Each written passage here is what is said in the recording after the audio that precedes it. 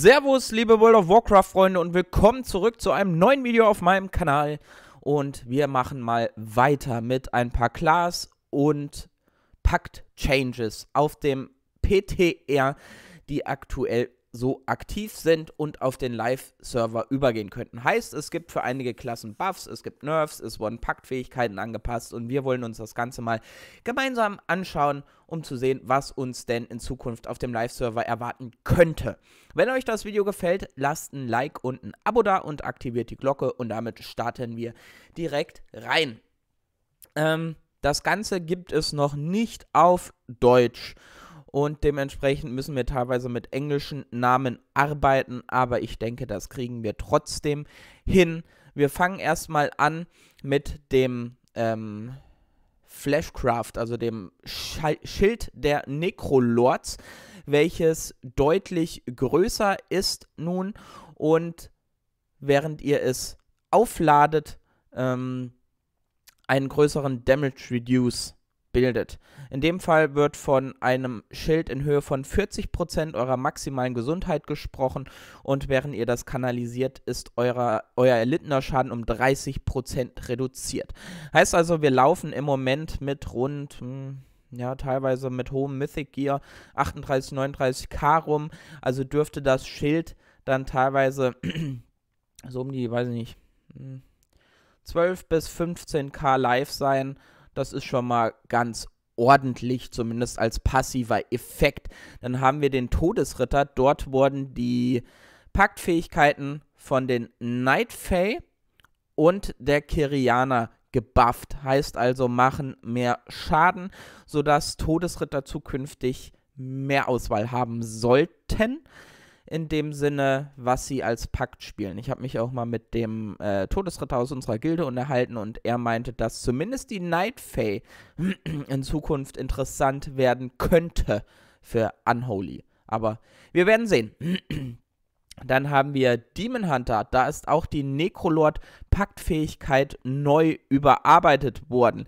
In Zukunft sieht es so aus, dass eure Schadensfähigkeiten die Chance haben, einen Dämonen aus dem Theater der Schmerzen zu beschwören. Wenn ihr die Glaive werfen Fähigkeit auf diesen Dämon einsetzt, explodiert dieser und macht Schaden in Höhe von 175% eurer Angriffskraft und heilt euch für 25% eurer maximalen Gesundheit. Klingt ganz interessant, wie das in Zukunft aussehen wird. Hm, werden wir sehen. Ich denke, da wird es dann auch wieder Sims geben, die zeigen werden, ob diese Fähigkeit sinnvoll ist oder nicht. Dann haben wir zwei Soul Binds bzw. Conduits, den Fell Defender und Repeat Decree. Ähm, für den Rachsucht-Dämonenjäger wurden diese beiden genervt. Also da wurde ein bisschen abgeschwächt. Wir haben den Druiden, die Necrolord-Paktfähigkeit. Das ist dieser Schwarm gewesen, der die der Schaden gemacht hat und die Wirksamkeit eurer Dots quasi erhöht hat. Und der Ventier ähm, Conduit Endless Thirst, der eure, ähm, der die Ventier-Paktfähigkeit letzten Endes gebufft hat, wurden ebenfalls nochmal gebufft. Ich glaube aber trotzdem nicht, zumindest für Eulen, dass diese Änderungen Necrolord oder Ventir auch nur annähernd so stark machen werden wie beispielsweise die Nightfay für Eulen, wie gesagt. Dann haben wir Verjüngung. Der Zauber wurde gebufft und macht in Zukunft mehr Heilung. Nehmen wir mit, ist ganz nett. Dann haben wir den Hunter. Auch hier die Necrolord Ability und die Ventir Ability wurden gebufft und wir sehen schon, dass Blizzard ein bisschen in die Richtung geht, dass die Spieler mehr Auswahl haben sollen in Sachen Pakte und nicht nur ihren besten Slot-Pakt quasi nehmen. Deswegen sehen wir auch bei den Mages die Necrolord Ability, die der Ventir und die der Kirianer wurden enorm gebufft oder wurden gebufft. Streichen wir das enorm denn auch Magier sind eine Klasse, die rein ausschließlich auf die Nightfade zurückgreifen. Der Mönch, da haben wir den erneuernden Nebel und beleben kosten zukünftig weniger Heilung. Ja, Äh, weniger Heilung, weniger Mana, meine Güte. Bin etwas durcheinander noch. Ähm, Paladin haben wir den Heiligen Schock, kostet zukünftig mehr Mana, also im Paladin ist ja sowohl im PvE als auch im PvP eine Klasse, die sehr, sehr schwer out of Mana geht. Ob das was dazu bringt, werden wir sehen. Aber auf jeden Fall soll Paladin nicht mehr einfach ohne weiteres Mana rausballern können.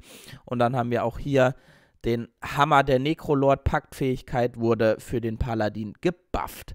Wir haben ähm, den Priester Spirit Shell die äh, Hülle, die ein Schild aufbaut, wurde genervt, war wohl zu stark. Dann haben wir zwei legendäre Effekte, den Kuss des Todes und Cauterizing Shadows wurden gebufft und die Nightfay Paktfähigkeit wurde ebenfalls gebufft für den Priester. Beim Schamanen haben wir das gleiche Spiel, die Nightfay Paktfähigkeit, die der Kirianer und die Necrolord-Fähigkeit wurden gebufft. Grundlegend, damit auch der Schamane etwas mehr Auswahl hat. Und wir haben das Blitzschild, so heißt es glaube ich auf Deutsch, ähm, wurde ebenfalls gebufft und macht zukünftig mehr Schaden. Wir haben den Warlock Malefic Rapture.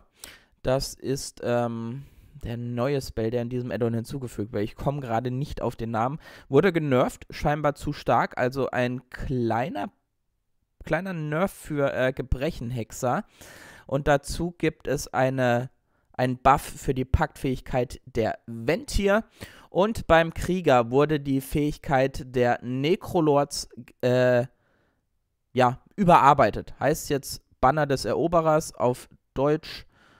Äh, Randish, the Conqueror's Banner. Also sobald das Banner gestellt wird, bekommt man 400 Mastery und 30% erhöhten Movement Speed, man selber und zwei nahe Verbündete. Und es wird verhindert, dass der Movement Speed unter 100% gedrückt werden kann. In diesem Sinne sind wir weitestgehend durch mit den Pakt-Nerfs, Buffs, Klassen-Nerfs, Buffs und so weiter. Wir haben jetzt hier in dem Artikel noch ein paar ähm, ja, Soulbind Abilities, aber ansonsten ähm, gibt es da nicht mehr allzu viel zu, zu sagen. Da, der ganze Artikel, ich verlinke ihn euch auch nochmal in der Videobeschreibung, der wird immer überarbeitet. Wir sehen, also für ein Video jetzt jede Klasse hier vorzulesen, wäre etwas viel, muss man sagen. Aber hier sieht man beispielsweise nochmal, dass die, wie dieser Schwarm gebufft wurde, beispielsweise beim Druiden. Anstatt 126% der Spellpower macht er 157,5%. Ja, also es sind letzten Endes die o Änderungen, die wir oben gelesen haben, nochmal im Detail. Beispielsweise mit ähm, Prozenten dahinter. Und für Torgas gibt es teilweise auch neue und überarbeitete Anima-Powers. Die stehen hier auch nochmal drin kann man sich dann gerne nachlesen, wenn man möchte. In diesem Sinne bedanke ich mich bei euch fürs Zusehen. Hoffe, das Video hat euch gefallen. Ich werde euch auch weiterhin auf dem Laufenden halten über alle anstehenden Änderungen mit Patch 9.0.5. Und in diesem Sinne wünsche ich euch noch einen schönen Tag. Lasst es euch gut gehen und reingehauen.